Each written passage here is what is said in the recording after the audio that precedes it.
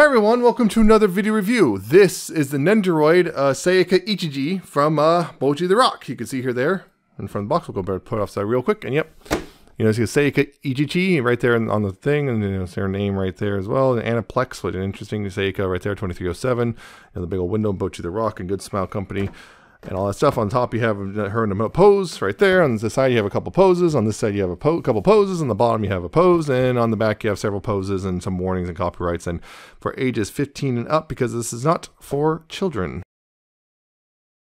And of course, in the box, you do have the little booklet of instructions for how to use the parts and whatnot, in, in you know both in Japanese and in English. If I can get this open properly. There we go. like trying to get it, get it open and just want it open. Yeah. Pretty straightforward. That, you know, just how to use different parts. So, uh, there you go. So, Seika, the manager of Starry and uh, Nijika's older sister. Gonna bring this down a little bit. And yeah, getting uh, close, of course. Getting a bit closer. You see, you know, she's got yellow, you know, you know, the blonde hair, the reddish eyes, and of course, the little Dorito on top. You got that. You got the black. You got the black shirt, the red. Well, it's either bra or undershirt, one of the two. Uh, you got white and black strap pants because you know, little black shoes and everything, and on the back, you know, I got a hair with a nice little bit of gradient there, and again, just pretty much just black shirts and striped pants. There's nothing really there. Of course, it's on the stand, which you know, pretty typical Nendoroid stand, including all the hinges and whatnot. And there you go, there. So yeah, Nendoroid, so posability, you know, there's some posability, but not a whole lot. You know, you actually get the head is on the weird ball joint things. So you got left and right, you got the up and down. You kind of get waggle if you work for it because it's the weird change thing. Shoulders can go forward and back. You got the uh, the bicep swivel there, thanks to the swappability. There's a wrist swivel kind of right there, kind of a more of a forearm swivel, but eh. right there as well. There is a uh, there's not really a waist swivel because of how it works. Like you yeah, because the way she works, she doesn't have a waist swivel. Uh, she does have hips, you know, hip joints, you know, ball jointed, so you know, you got forward and back, and you got you can twist side to side and uh, do all that stuff if you want. And there's your lot. Not a whole lot, but you know, it's not, you know, Nendos aren't super posable, but you know, there's always some degree of posability. So yeah, um, there's the posability section. So yeah, uh, before we get into accessories, here's a couple comparisons, including of course how you run out. Here's uh, Bocchi herself who you know Seika has a bit of a soft spot for. What that soft spot means is up to you. Here's a uh, Kikuri, you know. you know, Kikuri calls uh, Seika senpai, and they may have a bit of they have a bit of a past together, which you know not not totally uh, got brought up in the uh, anime, but definitely seems to be brought up in uh, the Kikuri side series. And uh, here's her little sister Nijika right there. So uh, there you go on that front. So yeah, a couple accessories she has. Of course, she has the typical replacement neck joint, which you know that's pretty typical for Nendoroids anymore. Um, a couple replacement faces. She got a bit more of a smile right there. She goes right there. That's the neutral face. That's more of her smile. And here's uh, yeah, her kind of looking. I'm not sure what kind of face that is, but I guess a little happier in general. She has a little uh, left arm, which is kind of has a little stuffed animal in it, a little panda, because they're cute. She got this uh, bent right arm, which has a little juice box in it. She's bent left arm. This has a different hand, you know, kind of a this little hand right here, which has a little finger kind of out a little bit. And she's got these uh, pair of uh, hands for, you know, crossing you know, crossing her arms, which I'll show that in a little bit. And uh, she got this special, like, well, bottom half, which is for sitting on the stool she often sits on, which can't sit, sit by itself. Well, it can sometimes, just not exactly, uh, it's a little forward heavy, so it doesn't take much to knock it over without, uh, you know, it being connected to the stand. And of course, swapping faces is pretty straightforward. You can uh, just uh, pop the hair off, eh.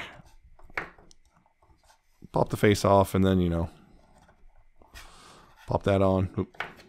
Don't put two faces on at once; it doesn't work. you do that, and of course, uh, swapping the arms is pretty straightforward. You know, right here at the biceps you need to pop that off, and then pop this one on. And uh, again, like a lot of recent Nendoroids, the joints are ridiculously tight. I don't know what that's about, but yeah, as of late, a lot of the Nendoroids have been ridiculously tight joints. This one's not too bad, but still it's a little more difficult to do it without pulling the whole arm off. Yeah, got that. Be straightforward. And you you can also have the uh, swap the other arm off if you want.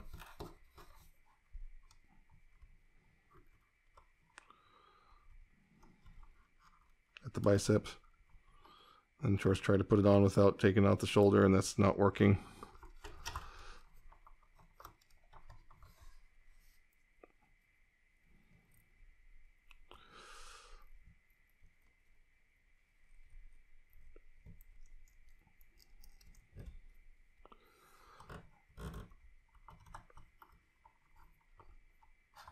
Yeah. That. That's the thing. This arm reticular is for kind of, I guess, an invisible countertop. Because, yeah, what you do, of course, yeah, popping this off, you just got to... They tell you to actually pop the legs off. You don't absolutely have to, but... Actually, I found actually maybe makes it a little or more difficult to get grip on this. But yeah, see, it's got two pegs, which is why it doesn't have a a waist. The reason it doesn't have a waist joint is because they got two pegs, and yeah, I guess to make this part more secure. And then yeah, you do that, and course, uh, yeah, assuming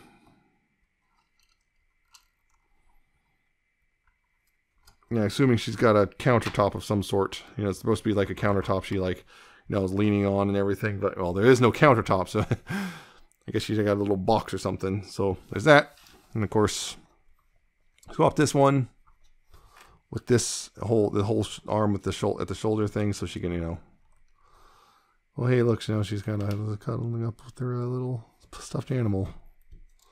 What a dork. Uh, yeah, and uh, and of course you can do the swapping the uh, for the crossed arms, which is pretty straightforward. You got to get both arms off here, and then you attach the right arm first. Attach the right arm first, and then you attach the uh, left arm And yeah, it's also there's a peg on this hand which will go into that hand right there too. So uh, be aware of that before you. And that will peg in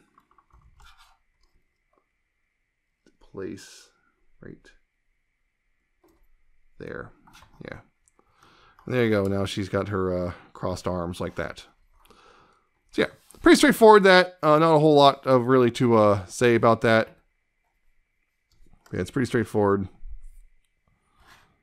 And there you go. Uh, there's a Sayaka. And also because the thing is because with her and Nijika have the same exact, you know, eye color and uh, hair color, you can take like say one of Nijika's uh, faces and put on Sayaka and it still works. Particularly say like I know, face like this, which you know, irritated at Ryo because well, yeah.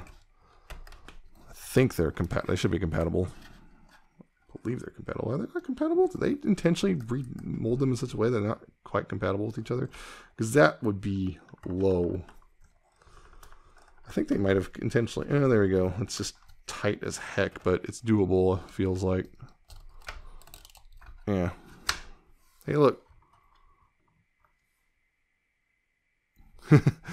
a little tight, but it works. I'm just a little worried about that because it almost feels like they, they like molded them differently just so they won't work properly with each other. So now I'm kind of have to look. Do they mold these slightly differently? Oh, look. Looks like they in fact did. That's, well, maybe. Nah, not really. Actually, no. These are well, there's slight different. Yeah, there's definitely different molding there. I can see that. But even still, it should still be largely compatible. That's weird. Why do they do that? Why can't they just make these things more universal? that's what I want to know. Why they keep making special molding for each one. Yeah, uh, that's anyway. It's somewhat compatible. It's a little. I kind of almost have to force it, but it does work. So uh, yeah, that's Seika. Doesn't come with a whole lot, but you know, a decent amount. I'm hoping they do PA-san at some point. You know, they've done two of the three adults, the major adults in the series, so why not PA-san? Get that all done. But yeah, as a whole, she's pretty good. Um, not she's not too expensive either. Again, cost me about 50 bucks, I think, again, with shipping from Japan. So not too bad for a Nendoroid. not a whole lot of accessories, but a decent amount. I wish there was like a countertop, considering they have that whole the countertop leaning arm. I wish there was kind of something, just a little like something that maybe pegs into the uh, stand so she can you know rest her arm on it. But eh, not the end of the world. You can have a little like one of those cubes or whatever they have. So that's my only real complaint, honestly. But other than that, and maybe the fact it's not fully technically cross compatible with the Nijika faces, which it should be, considering you know there's no reason for them to be molded different, honestly. But beyond that, um, decent.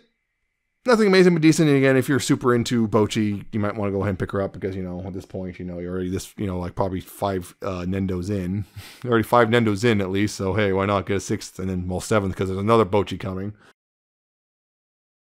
I'm just hoping for PA-san. but yeah, um, it's good. Not a most again, nothing spectacular, but a pretty decent, you know, decent. Uh, recommend I would say very much if you just really like Seika or you just are really into Bocchi the Rock as a whole. There you go. So uh, that's it for this review. I hope you found it informative and entertaining. Leave a comment, subscribe, check out my social media down in the description and at the end of the video. Check out my Ko-fi and my Patreon. And I shall see you next time with another video review.